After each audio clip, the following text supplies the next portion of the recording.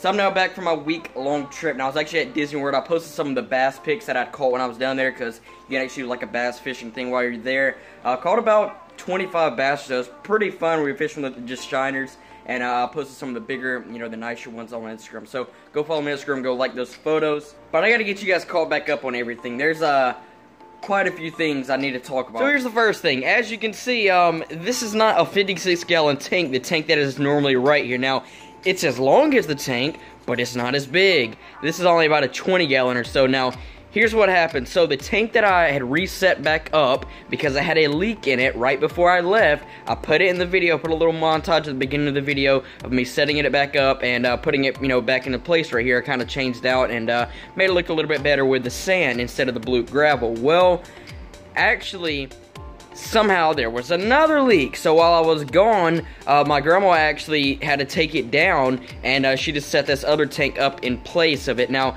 now this tank right here is a tank I've had for uh, about a few months now. I got it from the same people that I got the flowerhorn tank from, Chungus tank, the 30 gallons. So this is a little bit smaller. Now it's just as long, and the Tetras love it. As you can see, they love going back and forth, but it's nowhere near as big as the tank that is normally right here. So this is just temporary until I get the tank back fixed and then get it set back up again. And then of course I'll have the all the fish back into the 56 gallon tank. But all the fish are looking great. The filamentosa barbs, the big Congo tetra, the dojo loaches, and the doorbell is ringing and my dogs are barking parrotfish. They're all doing great. Let me get the door. So here's the goldfish slash turtle pond. It is looking great. As you can see, I added a whole bunch of pea gravel. We got to get some more to go back there and a little bit back there. And also added some on the inside. You can actually see the fish a lot better. But uh, yeah, I actually added a whole bunch of new little mosquito fish earlier this morning. I added about 20 or so of them.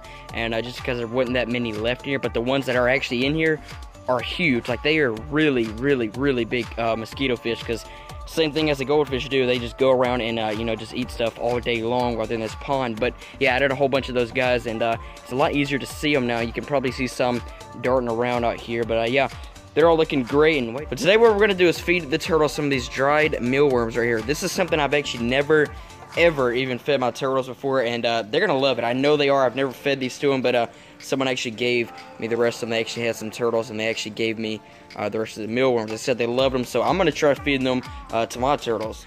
That guy is sleeping right now, but uh, the other two are awake. That one peeping out, and then that one right there. So we're gonna go and feed these guys, and uh, let's see if they even hand feed. Okay, so I got one of them right here, and we're gonna feed this guy right here first.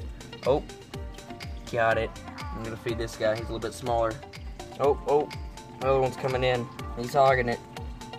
This guy's just hogging it all. He's just a little bit bigger, but he's a lot more dominant than this guy. All right, we'll put it right there in front of him. Oh, better get it. Dude, he didn't even see it. Are you kidding me? Yep, yep, okay. Yep, okay. All right, just drop those in. They love them, though. There's no doubt about that. I'll come back and feed this guy when he's up a little later, but look at him trying to fight over. Dude, there's like two more.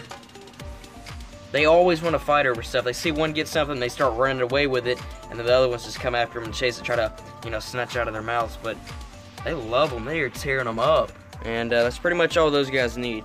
Now this will be pretty interesting to see what happens now. Uh, the only thing in here is, is, of course the soft shell and the musk turtle. Now these two are kind of shy turtles. The soft is right back there and the plants and the musk turtle is right over here. We've had this guy for quite a while now, but the soft shell is pretty new. We've only had it for about a week now, so he's been eating, but he's not really been eating in front of me. So uh, we're gonna see if this guy will eat uh, on the surface at least, because what I've been feeding him is just some shrimp, and of course that sinks, and this doesn't sink, so I don't know if he'll eat from the surface or not just yet, but we're about to find out, and you can see the musk turtle coming out right over there. So I just put some kind of like right there in front of him, and uh, we'll see what he does. He might eat them, he might not. I'm gonna kind of back up a little bit and I'll zoom in some, see what this guy, oh, he's coming out. Oh my gosh, he got him. He just got one. Look at him. Oh, he's running off with it. Look at that guy. Oh, snap, look at him. Look at that guy back there. He's just peeping out at me. It looks like the freaking Loch Ness Monster. Have you, have you guys ever noticed that? They look like freaking Loch Ness Monsters. That's freaking crazy. Just look how long their neck is. Freaking giraffe turtles, what they should call them. Oh, look at him. Oh, look at him. Oh, we got another one. Look at that. Just runs off with it, though. He's still pretty spooked about that when he grabs food, and I'm right in front of him, but it's crazy. That's the second one he ate. Oh, yeah, he's zooming now. Yep, yep, we freaked him out. Okay, we're going to leave him alone. So I've got a pretty good amount right here for these guys. These guys are my biggest turtles and they can really eat a lot and I expect the goldfish to, you know, eat a few of these as well. So we're to go and put some of these in here and uh, watch these guys just chow down because I know for sure these guys are to eat them. There's, there's no doubt that they are. Look at that one mosquito fish though. That guy is huge. Wait a minute. Look at that. Look how fat he is compared to that little bitty one swimming right there next to him. That that's what I'm talking about about how big they really are in here. You know what? I would try to hand feed one of these guys because I know he will easily hand feed, but I'm just gonna chunk those in there and just watch them come up. The goldfish are gonna come up too, and also the mosquito fish will. Oh, oh, look at that guy. That's the most personal one in here that I will usually hand feed, and you can see that guy. Look at him coming up, and I'm not gonna spook him. That guy right over there is the the newest one they removed from here. Oh, he actually didn't spook. That's really good because he hasn't been in here for that long. Only about a week now. And uh, he was actually the one that I moved out of the cooler. Yep. Look at that guy.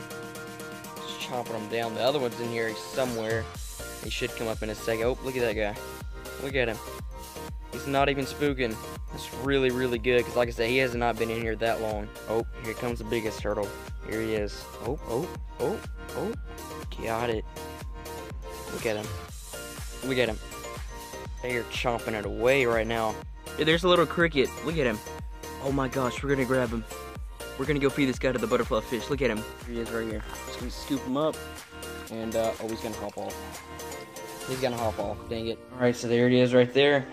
And uh, there's the butterfly fish right there. Now, I actually added this little grass mat, as you can see right there.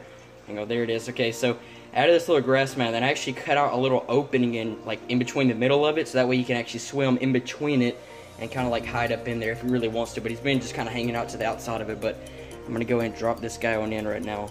And let's see if he eats him. Oh, he kind of spooked, but I'm gonna put him in. He's been getting a lot more used to me now, even though he spooked right there. Look at him, look at him. Oh, he sees him. He's gotta see him. Just wait till he moves.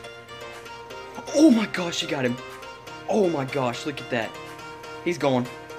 He's gone. He got him. Freaking insane, dude. Oh my gosh. Dude, he freaking crushed him. That was crazy, dude. Oh my gosh. Here's another thing I actually noticed when I came back. So the two Electric Blue Jack Dempseys, as you can see, they are looking great. But uh, one of them is almost double the size of the other one. Now, I don't think, you know, a lot of this didn't really happen when I was, you know, going on the week-long trip or nothing. But it kind of, some growing did happen, I can tell. You can see that guy right there. You can see, you can see the, the difference right now. I mean, you can literally see that that guy right there is almost twice the size of that guy, and uh, his his color's a little bit brighter than that one. He's a little bit darker, but yeah, that's one thing I really really did notice when I came back. Like you can see an obvious size difference between the two, but they still look great, and all the fish in there are doing great. So here's the Kribensis now. Quick update on the babies. So unfortunately, one of the things I was afraid of with the babies is that uh, the parents could eat them, and uh, that's what happened. Uh, it's just because these are first-time parents. For at least what I know, it, uh, they were traded into the store, so they may have already had babies before, but they have eaten the babies, which is okay. I mean, they're gonna have, they're gonna spawn again. Like the Kribensis, they, they're really, really easy to breed, like I've said in the past. But uh, you know, they're, they're gonna spawn again, so I'm not too worried about that. This time, what I'm gonna do though, I'm not gonna have the babies in there for very long, and I'm just gonna pull the parents out the tank and put them in another tank, and uh, just let the babies just have that tank, raise them up in there. This time, the next time they actually spawn, I will make sure that they do not eat any of the babies. Leleupi cichlids are looking great. There's the bigger a little bit more dominant one. It Kind of goes after the other one sometimes, but it's not too bad where his fins are all nipped up or anything. As you can see, the other guy back there looks totally fine. But uh, also, I might end up taking the little green cory cat. I don't know if it'll focus. Yep. You can see the green one, the albino right there. I might end up taking the green one out and like putting him in the puffer tank right over there, or maybe in the betta tank. We're gonna get that big old banana plant in a second, but and then I'll probably just get another albino cory to go along with the other one in here. But yeah, I mean they're doing fine. It's just that the little green cory cat has been getting picked on a little bit by a little bit more dominant uh, Leleupi which is really something I really did not expect. But like I said, I probably am going to just go and take that guy out and go and get another bigger albino cory cat for this tank. So yeah, uh, this banana plant was doing some growing before I left. It had this big leaf right here, and it had this big one that it shot out up here. It is almost like a dang lily pad. You can see it at the top, and it could easily go even higher. It's even curled up right there. But before I left, that was pretty much it. All these little leaves were I mean, they were bigger than that banana plant, but they weren't nothing like they are now. And I come back and I see this. I'm like, holy cow, dude. Do you see how big this thing is? Like, that is a huge, huge banana plant. Like, it is so big. Almost every single one of the leaves are almost at the top now, except for these little smaller ones down here at the bottom. But pretty soon, all these are going to be at the top, as you can see, just like that one right there. Now, that one actually it came out as a sprout. It just shot that one out like really in a really short amount of time. But yeah, that thing is it obviously has done a lot of growing uh, within the past week. But there's the female betta right there, and uh, the three neons right there. So they're doing great. Well, that is pretty much it for now. Kind of give you guys you know some updates on, on some things that happened while I was going on the trip.